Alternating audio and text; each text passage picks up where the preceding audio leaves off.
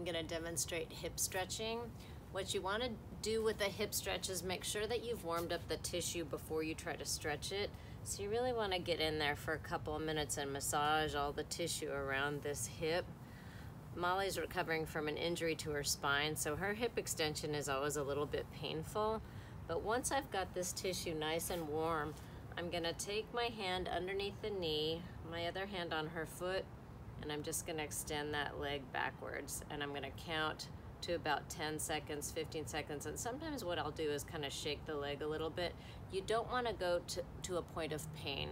So what I'll do is I'll flex the knee, extend the leg, take it out as far as I think she can go, and then maybe bring it down about five or 10 degrees. And I'll actually think of sort of pulling towards me. So I'm pulling her foot towards me to stretch that hip out a little bit.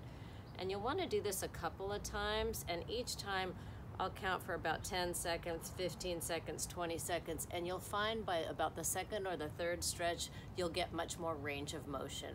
The first one tends to be a little bit tighter. By the last one, you've really got good range of motion going here. And this should feel really good, especially for dogs with hip dysplasia or any kind of hip injury. There we go. Good girl.